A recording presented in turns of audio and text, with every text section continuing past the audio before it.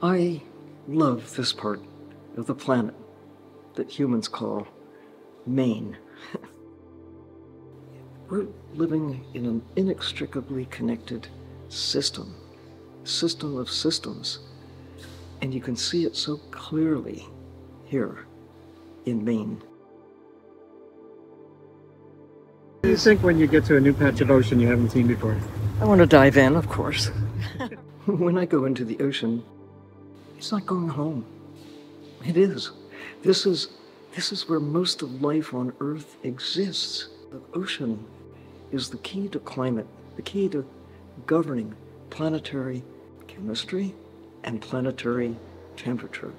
Sylvia's work brings people together to protect small pieces of the ocean, which in turn protects the bigger whole. We can do so much, and we need to be able to do what we can. But to do it armed with with compassion.